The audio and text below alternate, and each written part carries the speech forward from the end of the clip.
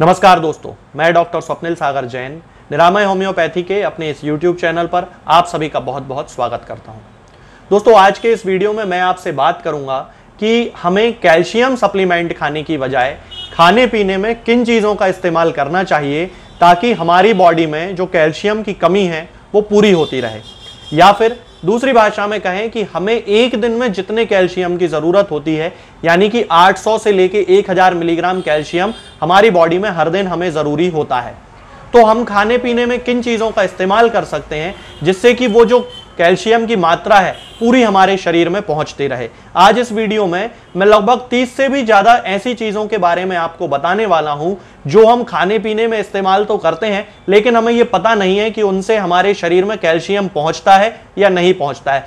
तो वो तीस चीज़ें मैं आपको बताऊँगा, जो हमारे शरीर में कैल्शियम पहुँचाने का काम करेंगी, और फिर आपको कैल्शियम सप्लीमेंट खाने की कोई भी ज़रूरत बिल्कुल भी नहीं पड़ेगी। चलिए दोस्तों, शुरू करते हैं। तो दोस्तों, हमारे शरीर को जितने कैल्शियम की ज़रूरत होती है, उस हिसाब से मैं आपको बताता हूँ कि हम किन किन चीज़ों को खाने में इस्तेमाल कर सकते हैं। सबसे ज़्यादा जो कैल्शियम पाया जाता है दोस्तों, वो पाया जाता है तिल में, यानी कि जिसे सीसैम सीड या तिली भी कहा जाता है।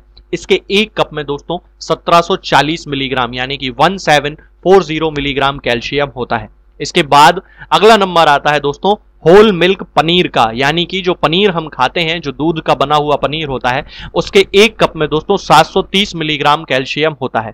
इसके बाद अगला जो नंबर आता है दोस्तों, वो है चीज़। चीज़ में भी 632 मिलीग्राम एक कप में कैल्शियम पाया जाता है। इसके बाद आता है बफेलो मिल्क बफेलो मिल्क यानी कि भैंस का जो दूध होता है, उसके एक कप में 420 मिलीग्राम कैल्शियम होता है। इसके बाद आता है उसी दूध से बना हुआ दही, उस दही में भी 420 मिलीग्राम एक कप में कैल्शियम होता है। इसके बाद सोयाबीन, पके हुए सोयाबीन में भी एक कप में 420 मिलीग्राम कैल्शियम होता है। इसके बाद आता है राजमा या जिसे किडनी बीन कहा जाता है। तो किडनी बीन में भी 400 छह मिलीग्राम कैल्शियम होता है एक कप में। इसके बाद नाचनी फ्लोर, या कि जिसे रागी कहा जाता है। रागी का आटा दोस्तों बहुत ज़्यादा यूज़ किया जाता है, रोटी वगैरह बनाई जाती है, रागी मिल्क पिया जाता है। तो एक रेसिपीज़ बनाई जाती हैं रागी से। इसके भी एक कप में दोस्तों 344 मिलीग्राम कैल्शियम होता है। और इसके बाद आते हैं काबुले चने।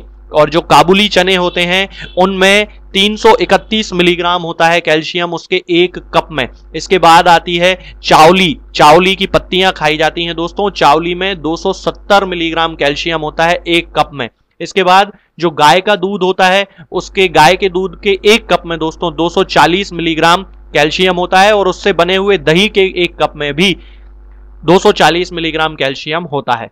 इसके बाद उड़द दाल होती है दोस्तों। उड़द दाल के एक कप में 233 मिलीग्राम कैल्शियम होता है। बादाम के एक कप में दोस्तों 230 मिलीग्राम कैल्शियम होता है। कोपरा यानी कि सूखा जो कोकोनट होता है या नारियल जो सूखा हुआ होता है, उसमें 200 मिलीग्राम कैल्शियम होता है एक कप में। और इसके बाद आती है मूंग। मूंग की दाल में भी दोस्तों यदि उसे अंकुरित कर लिया जाए या उसको सादा भी खाया जाए तो उसके एक कप में 180 मिलीग्राम कैल्शियम होता है। स्किम मिल्क जो होता है, जिसमें से मलाई निकाल ली गई होती है, उसमें एक सौ तिहत्तर मिलीग्राम कैल्शियम होता है, एक कप में सोयाबीन के आटे के एक कप में एक मिलीग्राम कैल्शियम होता है, पिस्ता में एक कप में 140 मिलीग्राम कैल्शियम होता है इसके अलावा हम खा सकते हैं ब्रोकोली, जिसके एक कप में 132 मिलीग्राम कैल्शियम होता है, और हम खा सकते हैं गुड़ गुड़ के 120 मिलीग्राम कैल्शियम होता है, एक कप में। अरहर की जो तुअर की दाल जिसे कहा जाता है, उसको, उसके एक कप में 120 मिलीग्राम कैल्शियम होता है। मूंग की जो दाल होती है, उसके एक कप में दोस्तों 114 मिलीग्राम कैल्शियम होता है। मैथी मैथी के एक कप में दोस्तों 111 मिलीग्राम कैल्शियम होता है। और इसके बाद अखरोट आते हैं। अखरोट में दोस्तों एक कप में 106 मिलीग्राम कैल्शियम होता है। इसके बाद मूंगफली की बारी आती है। तो दोस्तों, मूंगफली भी कैल्शियम का एक बहुत रिच सोर्स है, जिसमें 105 मिलीग्राम कैल्शियम होता है एक कप में। इसके बाद आती है मसूर की दाल। मसूर की दाल में या जो लाल कलर की दाल जैसे आप कहते हैं, काली भी आती है, उसमें 105 मिलीग्राम कैल्शियम होता है, एक कप में। इसके बाद अरबी के पत्ते होते हैं, उनमें 102 मिलीग्राम कैल्शियम होता है, एक कप में। और जो चने दाल, चना दाल जिसको कहा जाता है, उसमें बानवे मिलीग्राम कैल्शियम होता है, एक कप में।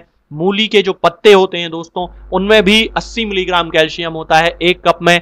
और जो गेहूँ का आटा होता है दोस्तों, उसमें भी बावन मिलीग्राम कैल्शियम होता है, एक कप में। पालक के एक कप में दोस्तों 50 मिलीग्राम कैल्शियम होता है और इसके बाद बेसन जो हम यूज़ करते हैं, जो बंगाल ग्राम, बंगाल जो दाल जिससे बनता है उसमें 46 मिलीग्राम कैल्शियम होता है दोस्तों, एक कप में। धनिया जो होता है दोस्तों, उसमें 46 मिलीग्राम कैल्शियम होता है एक कप में। तो दोस्तों, ये जो सारी चीज़ें हैं, ये हमारे शरीर में कैल्शियम पहुंचाती हैं। यदि हम इनसे बनी हुई चीज़ों का, यानी कि इनसे बनी हुई रेसिपीज़ का उपयोग करेंगे तो निश्चित रूप से हमारे शरीर में कैल्शियम की कभी भी कमी नहीं रहेगी और हमें अपनी हड्डियों को मज़बूत बनाए रखने के लिए, अपने दिल को स्वस्थ बनाए रखने के लिए, अपनी मांसपेशियों को रेगुलर काम करते रहने लायक बनाने के लिए कभी भी कैल्शियम सप्लीमेंट खाने की ज़रूरत नहीं पड़ेगी।